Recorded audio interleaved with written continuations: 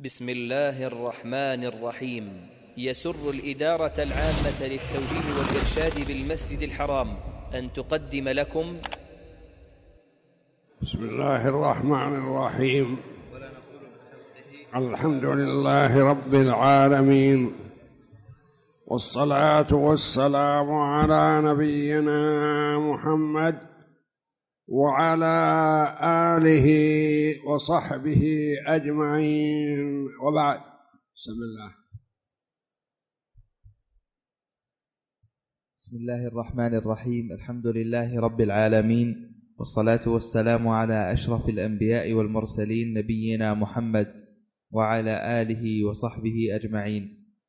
قال المؤلف رحمه الله تعالى أهل السنة لا يتكلمون في الله ودينه وكتابه بغير علم. وقوله ولا نقول بخلقه ولا نخالف جماعة المسلمين.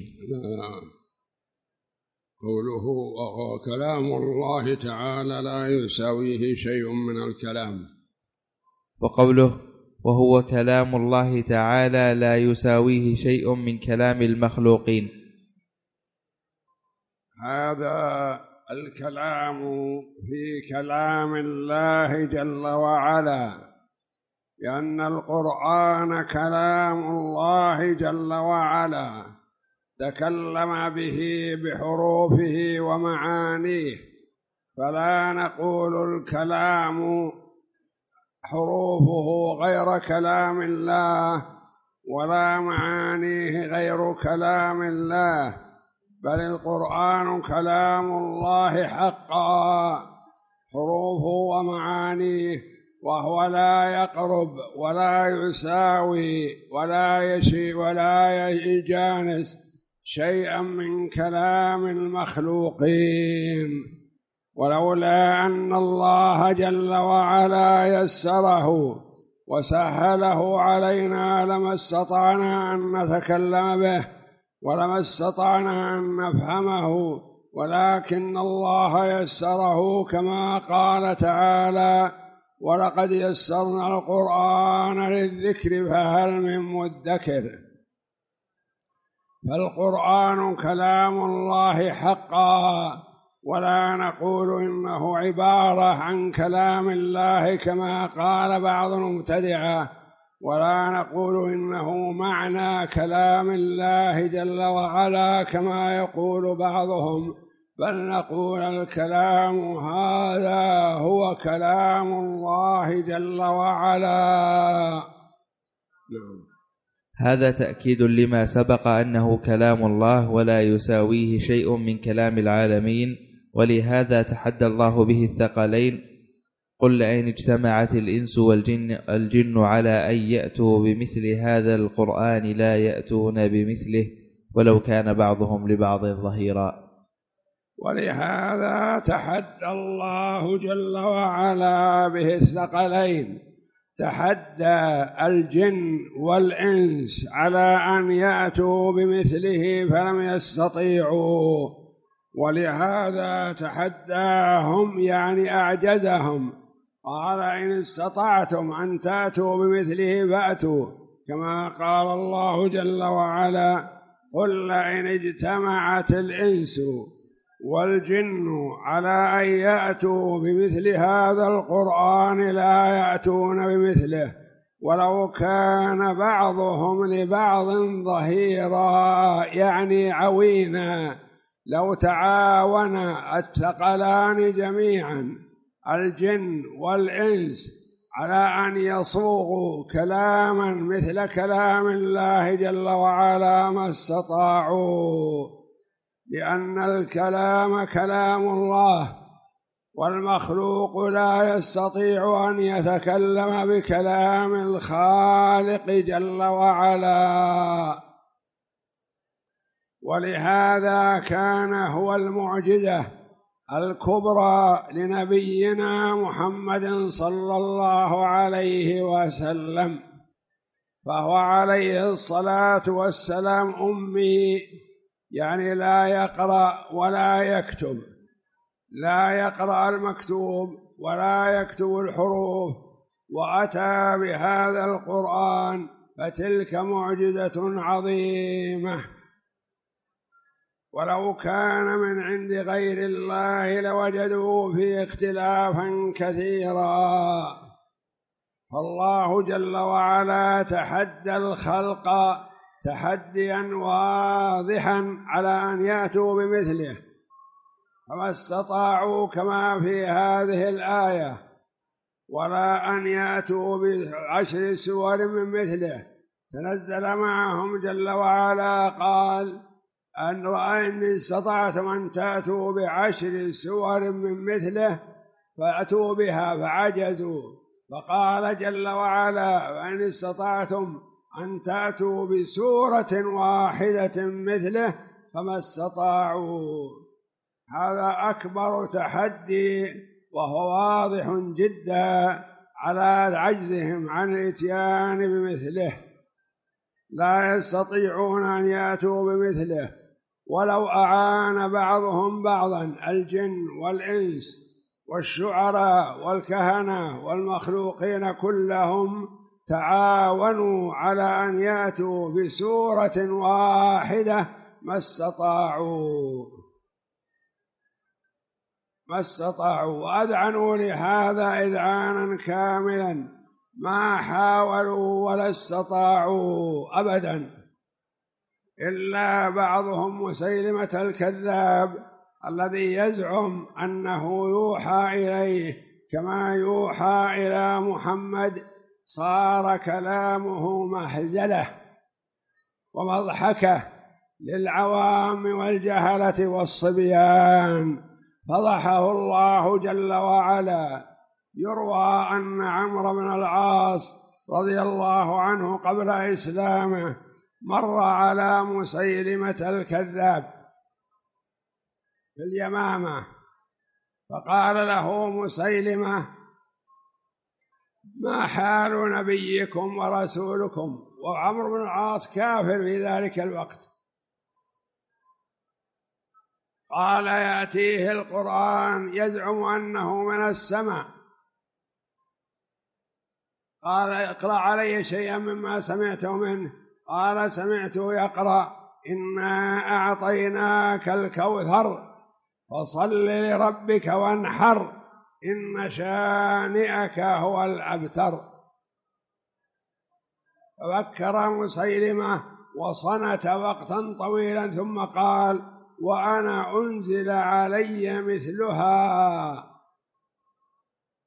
قال ماذا أنزل عليك مثل أن أعطيناك الكوثر؟ قال نزل علي يا وبر يا وبر إنما أنت جناحان وصدر وسائرك حقر نقر.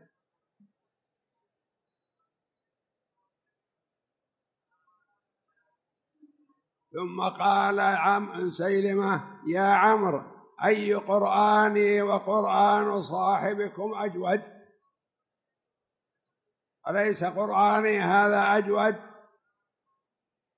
فعمرو بن العاص رضي الله عنه كان قوي عزيمة قبل إسلامه كذلك. قال والله إنك لتعلم أني أعلم أنك كاذب. ما, ما هذا. أنت تعلم هذا لو جاملتك وقلت لك لا قرآنك أحسن تعرف ما في نفسي. أنا ما يمشي علي هذا الكلام هذا كلام سخيف.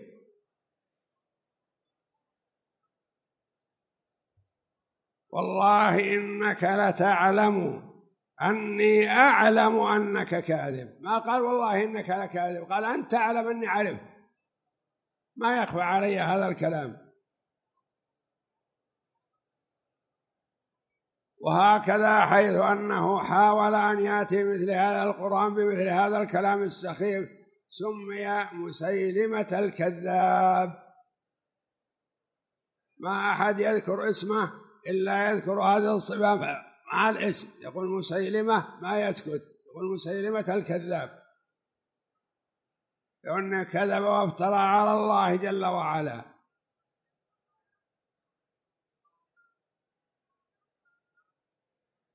فجاء تحدي الله جل وعلا للعرب القاطبة.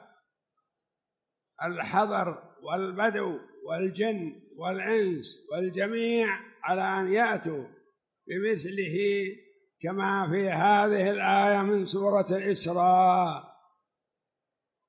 فما استطاعوا فأمرهم جل وعلا أن يأتوا بعشر سور من مثله. فما استطاعوا كما هي في سورة هود عليه السلام ثم أمرهم أن يأتوا بسورة واحدة كما في سورة البقرة وفي سورة يونس. ما استطاعوا فدل على أن هذا الكلام كلام الله جل وعلا. فهم ما يستطيعون أن يأتوا بمثله معنى ولا بمثله لفظا ولا بلفظه في علم الغيب. ولا في غير ذلك من الفصاحة والبلاغة وغير ذلك من الأمور التي تميز بها القرآن الكريم.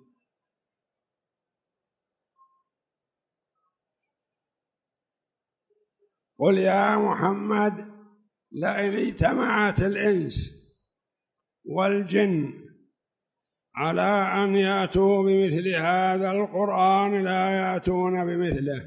ولو كان بعضهم لبعض ظهيرا ولو تعاونوا وتساعدوا وتكاتبوا كل واحد يأتي بلفظة والآخر يصححها وهكذا ما استطاعوا أن يأتوا بمثلها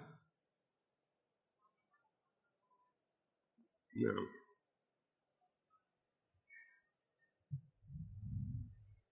وقوله ولا نقول بخلقه ولا نخالف جماعة المسلمين. ولا نقول بخلقه لأن الكلام صفة للمتكلم والمتكلم هو الله جل وعلا فهو الخالق وليس من كلام الله شيء مخلوق وإنما هو كلام الله جل وعلا صفة من صفاته. ولا نقول بخلقه لا نقول بخلق القرآن. كما قالت بعض الطوائف المبتدعة قالوا القرآن مخلوق. منهم من قال خلقه الله في الشجرة فأخذه جبريل من الشجرة وألقاه على محمد.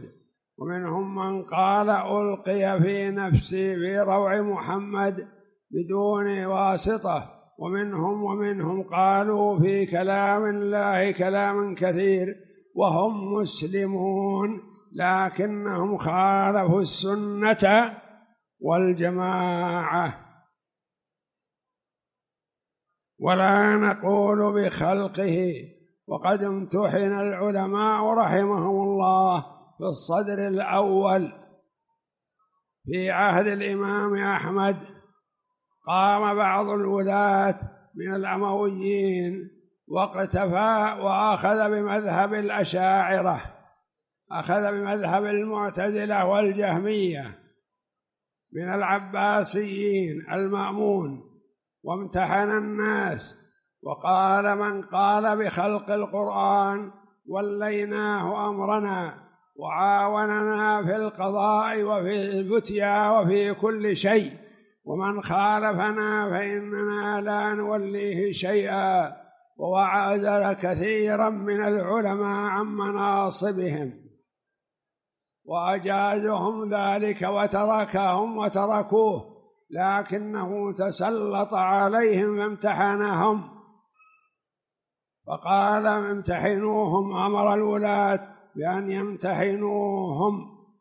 من قال بخلق القرآن تركوه ومن قال بعدم خلق القرآن وأنه كلام الله منزل غير مخلوق عذبوه وحبسوه. فتراجع بعض العلماء رحمهم الله وبعضهم تأول تأولا يسلم به من عدوه فقال التوراة والإنجيل والزبور والقرآن هذه الأربعة مخلوقة. وهو يقصد رحمه الله أصابعه الأربعة هذه الأربعة مخلوقة بلا شك. هذه الأربعة مخلوقة فتركوه. لكن الإمام أحمد رحمه الله صبر على هذه المحنة صبر واحتسب. وعذب وأوذي وجاءه تلميذه المروذي قال يا إمام تأول مثل ما تأول غيرك واسلم من هذه الفتنة وهذا الامتحان والابتلاء تأول تأول أنت ما تعجز عن التأول. قال لا ما أعجز لكن أخرج يا ولدي شم من الباب. فخرج رحمه الله ونظر إلى أهل الكتاب. أهل الكتب معهم محابرهم وكتبهم وأدواتهم. قال لما تنتظرون قالوا ننتظر الإمام أحمد ماذا يقول في القرآن نسجل عنه. نسجل عنه مقالته.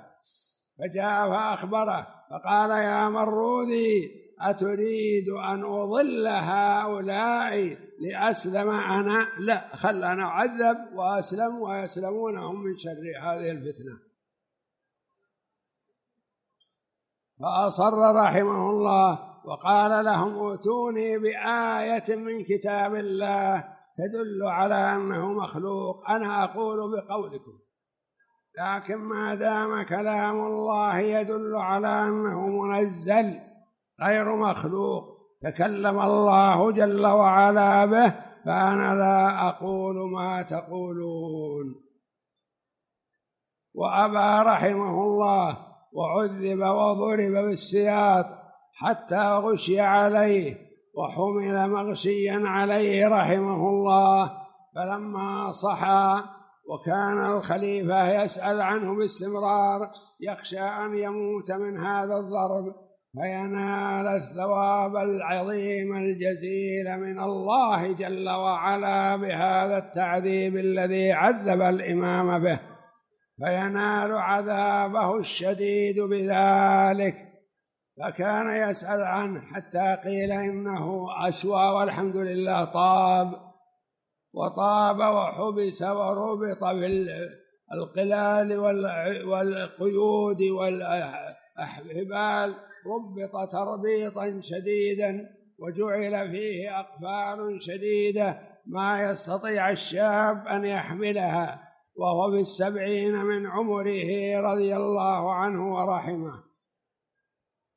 عذبوه عذابا شديدا فصبر رضي الله عنه. ولذا يقال رحمه الله العلماء يقولون أبو بكر يوم الردة وأحمد يوم المحنة. يعني صبر هؤلاء الاثنان صبرا عظيما.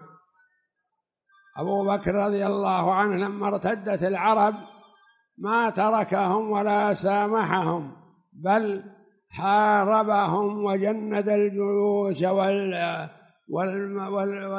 والعلماء وجند العلماء والجلوس والصحابة لقتال هؤلاء فقاتلهم حتى رجعوا إلى الإسلام وقتل من قتل منهم. والإمام أحمد رحمه الله صبر عند هذه المحنة فقال القرآن كلام الله منزل غير مخلوق. وعذب وأوذي وضرب في ذلك رحمه الله فما بال في الضرب ولا همه ذلك. المؤلف رحمه الله يقول لا نخالف جماعة المسلمين. نعم. ولا نقول بخلق القرآن كما قالت المعطلة المبتدعة كالجهمية. المعطلة لما؟ لأنهم عطلوا الله من صفة الكلام. قالوا الله لا يتكلم. كيف يتكلم وهو رب العالمين؟ ولما لا يتكلم يكون أصم أطرم والعياذ بالله. تكلم بالقرآن وتكلم بالتوراة وتكلم بالإنجيل وتكلم بالزبور جل وعلا. ويتكلم كيفما شاء وما شاء ولا نكيف لا نقال يتكلم مثل كلامنا تعالى الله. كلامه له صفته الخاصة به سبحانه وتعالى. فهم عطلوا الله من صفاته. أهل السنة والجماعة يقولون سميع يسمع دبيب النملة السوداء على الصخرة الصماء في ظلمة الليل. والمعطلة يقولون يسمع بلا سمع. كيف يسمع بلا سمع؟ هكذا. يسمع بلا سمع ويبصر بلا بصر. ومنهم من يقول لا يسمع ولا يبصر ينفي الاسم والصفة.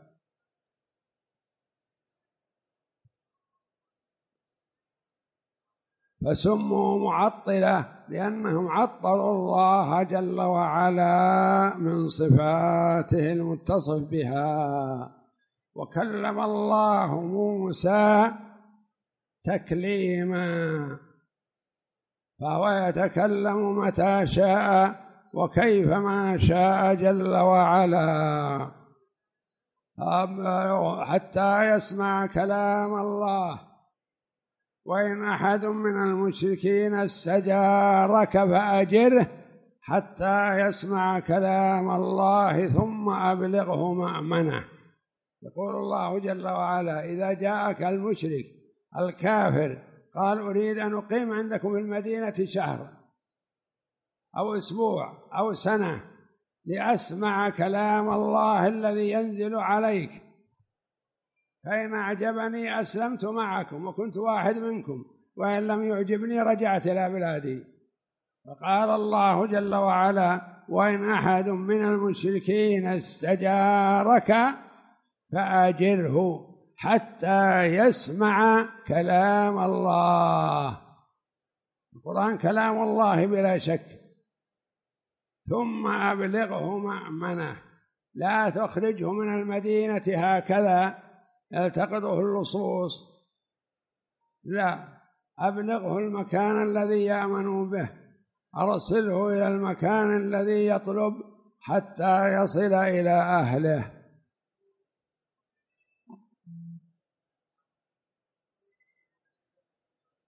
المعطلة مبتدعة من ناحية معطلة يعني عطلوا الله من صفاته. ومبتدعة قالوا في دين الله جل وعلا ما ليس منه.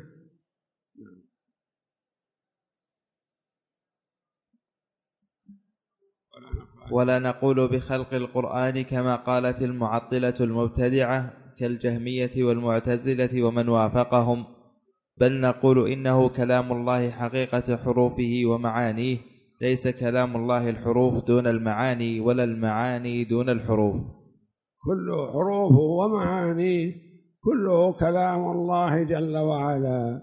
فالله تكلم بقوله الحمد لله رب العالمين الرحمن الرحيم مالك يوم الدين إلى آخره. وهو الذي تكلم جل وعلا بقوله قل هو الله أحد الله الصمد لم يلد ولم يولد ولم يكن له كفوا أحد. وهو الذي تكلم بقوله تعالى تبت يدا أبي لهب وتب ما أغنى عنه ماله وما كسب سيصلى نارا ذات لهب. وامرأته حمالة الحطب في جيدها حبل من مسد. هذا كلام الله جل وعلا. فولما نادى بطون قريش خصص وعمم صلى الله عليه وسلم. فجاءوا كلهم اجتمعوا لأنهم يعرفون أنه الصادق الأمين. قالوا نسمع ماذا يقول هذا الصادق. فتكلم معهم وقال أريد منكم كلمة واحدة. تملكون بها العجم وتدين لكم بها العرب يعني يتبعونكم. صروا قادة للناس كلهم؟ قالوا لك وعشر أمثالها. بسيط. ما تريد منا إلا كلمة ويحصل لنا هذا؟ لك وعشر أمثالها.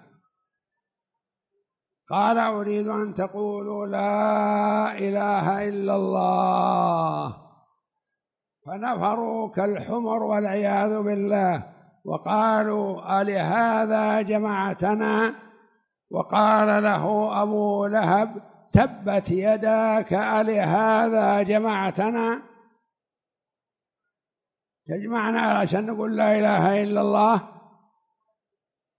فأنزل الله جل وعلا تبت يدا أبي لهب وتب ما أغنى عنه ماله وما كسب. سيصلى نارا ذات لهب وامرأته حمالة الحطب. في جيدها حبل من مسد. في جيدها حبل من مسد بالنار الذي لعنها الله وقبحها والعياذ بالله.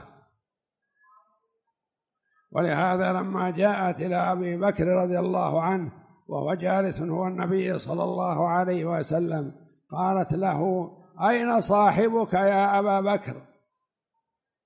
قال وما تريدين منه؟ قال تريد أن أقذف هذا الحجر على رأسه أرضخ رأسه. قال ولما قالت لأنه هجاني. سمعت بقراءة هذه السورة وتظن أنها من كلام أبي بكر ومن كلام الرسول صلى الله عليه وسلم. فأقسم لها أبو بكر برب الكعبة بأنه لم يهجها. قالت أنت صدوق أنت صدوق وذهبت. وصدق أبو بكر ما هجاها وإنما سبها الله جل وعلا. تبت يدها ليست من كلام الرسول حتى يقال إنه هجاها وإنما هي من كلام الله جل وعلا. نعم. وقوله ولا نخالف جماعة المسلمين.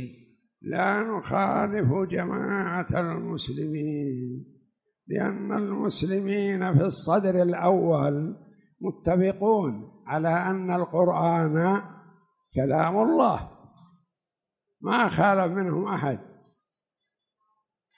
في عهد النبي صلى الله عليه وسلم وعهد الخلفاء الراشدين.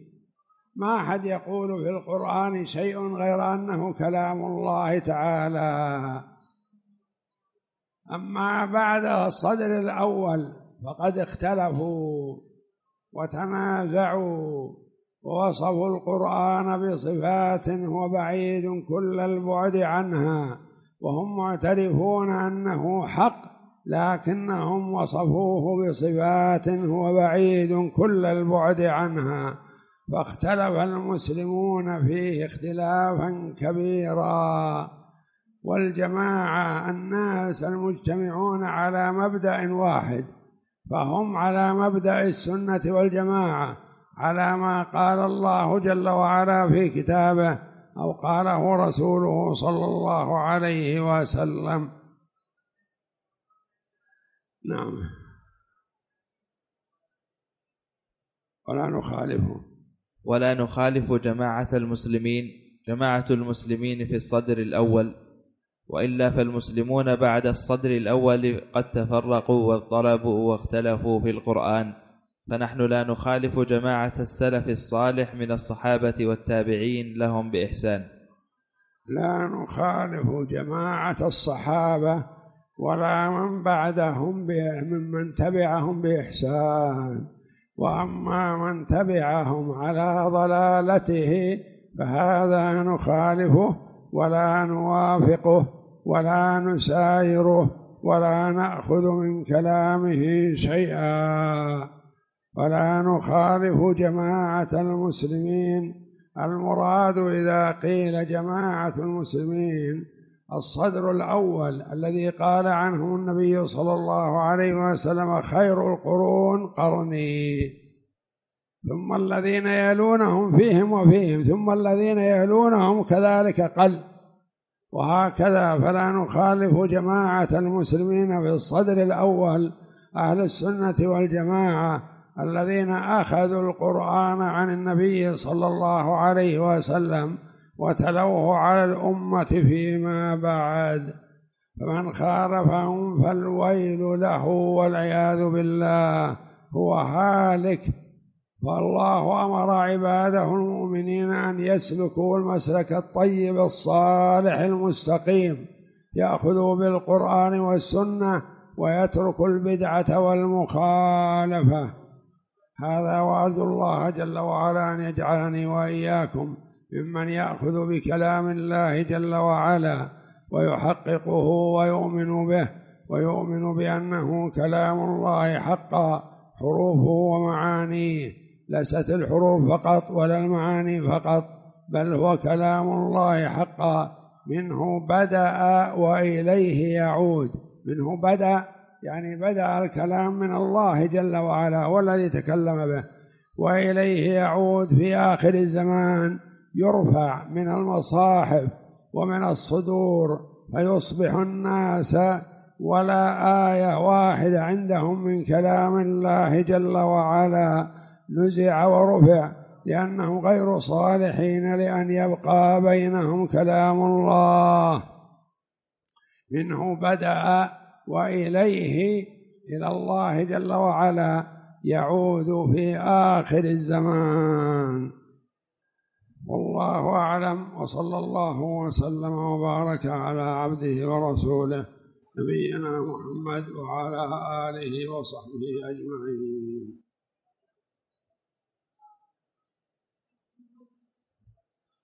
يقول السائل إن أخطأ شيخ في العقيدة ونبهناه ورجع هل نسمع لدروسه أو نتركه؟ المسلم خطأ. وخير الخطائين التوابون.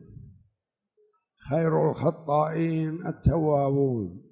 فإذا أخطأ عالم بخطأ ثم نبه وتراجع عنه فهذا يدل على استقامته فلا نقلاه ولا نتركه. يقول السائل هل يقال دعاء الاستفتاح في صلاة الجنازة؟ لا يا أخي صلاة الجنازة مبنية على التخفيف والإسراع. أسرعوا بالجنازة فيحسن الإسراع في تجهيز الميت والصلاة عليه والمشي به. رده إلى مقبرته إلى قبره حسن.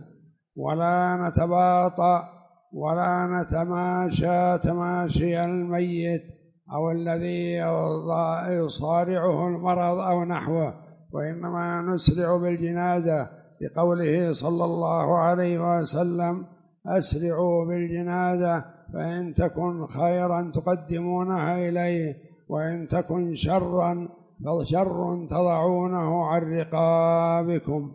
فلذا لا يشرع الاستفتاح في سرات الجنازة ولا تقرأ سورة بعد الفاتحة وإنما نقتصر على الواجب فقط.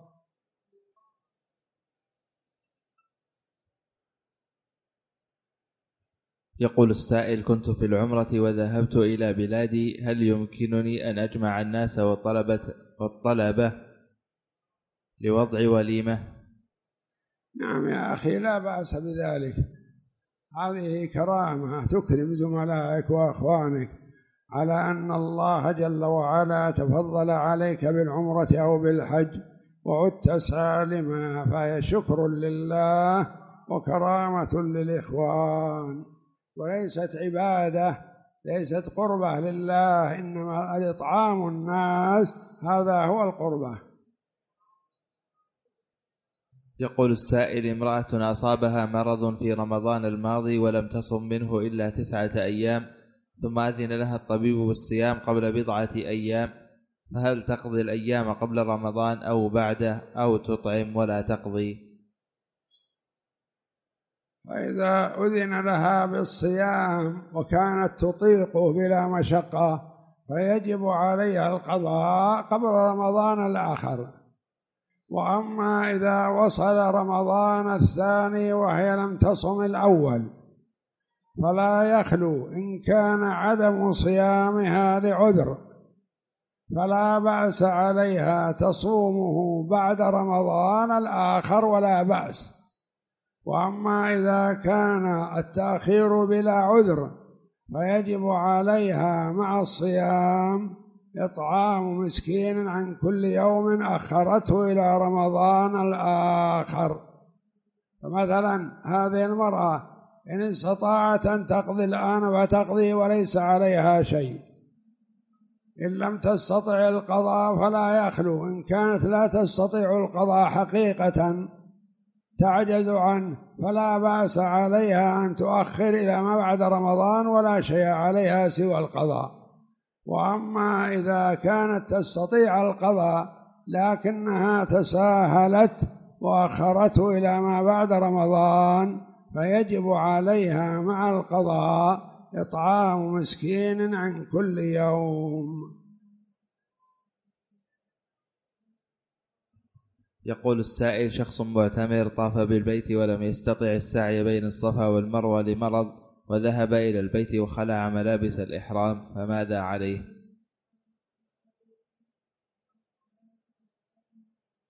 هذا الذي طاف ولم يسعى وخلع ملابس الإحرام. يجب عليه أن يستعيدها لأنه لا يسوغ له أن يخلعها قبل أن ينتهي من نسكه. فيجب عليه أن يستعيد ملابس الإحرام وخلعه إياها جهلا أو نسيانا لا يضره. ما يضره ذلك وليس فيه شيء وإنما يجب عليه أن يستعيدها. حتى يسعى فإذا سعى قصر من رأسه أو حلق وقد حل من عمرته. فيجب عليه أن يستعيد ملابس الإحرام وليس عليه شيء في خلعها هذه الأيام.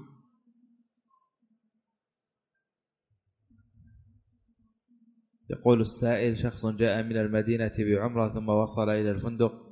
ثم مرضت أمه ولم يستطع أن يتركها فخلع ملابس الإحرام فماذا عليه؟ عليه أن يستعيد ملابسه لأنه لا زال في عمرته وخلعه الملابس في أثناء العمرة جهلا أو نسيانا لا يضره بل عليه أن يستعيد الملابس فإذا طاف وسعى وقصر من رأسه حل ملابسه وتحلل.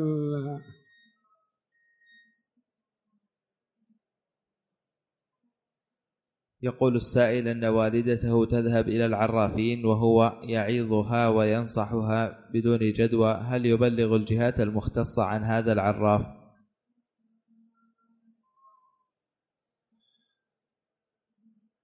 يجب على هذا الأخ أن ينصح أمه. وأن ينصح العراف هذا الذي يقول ما لا يعرف. فإن امتثلوا فالحمد لله وإلا بالنسبة لأمه لا يضيرها لا يشدد عليها لعل الله أن يهديها.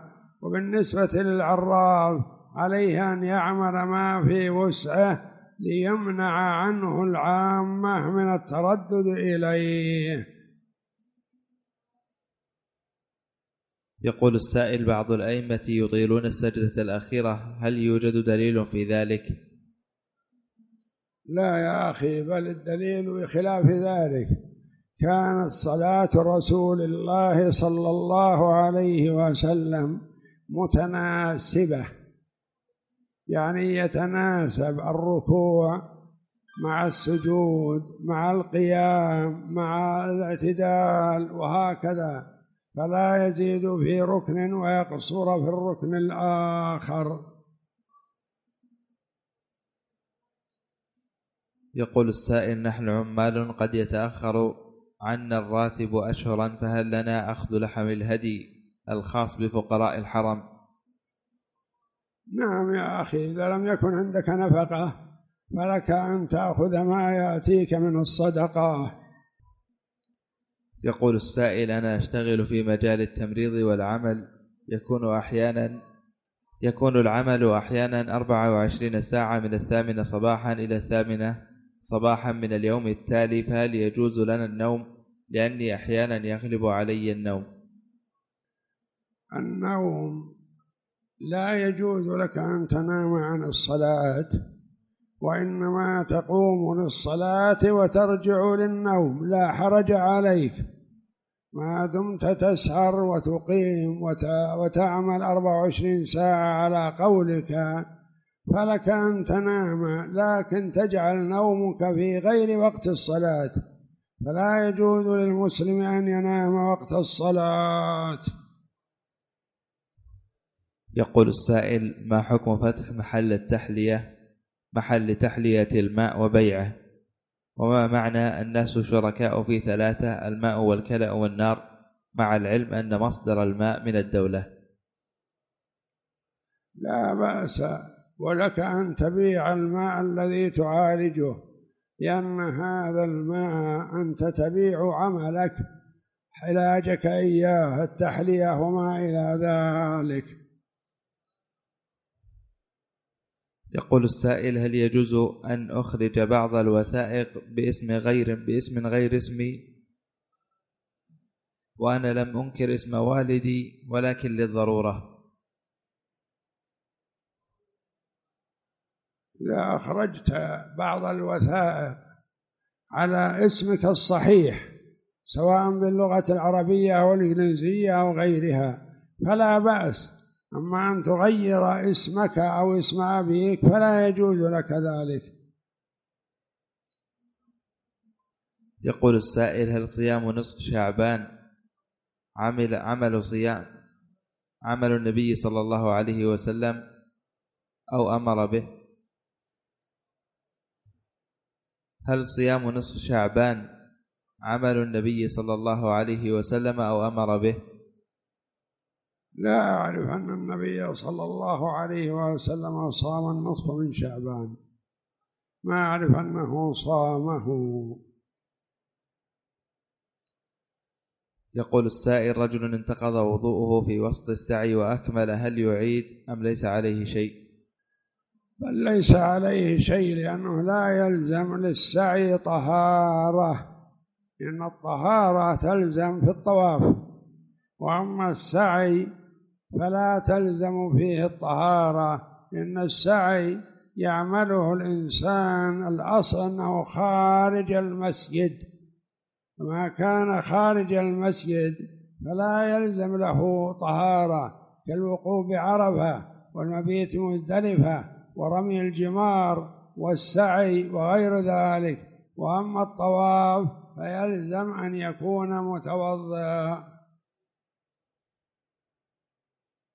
يقول السائل تزوجت امرأة تصلي وتترك ولي منها أربع أولاد فما حكمها؟ أطلقها أم أصبر عليها؟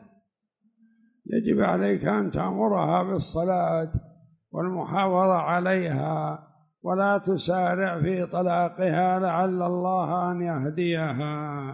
أما إذا كانت تترك الصلاة تركا كليا فلا يجوز لك أن تمسكها. يقول السائل هل تجوز قراءة القرآن في العمل؟ لا بأس بهذا إذا لم تترك العمل. إذا تركت عملك لتقرأ فلا يجوز لك ذلك لأنهم ما أتوا بك لهذا المكان إلا لتنهي أعمال الناس. فإذا اشتغلت بالقرآن تركت عملك.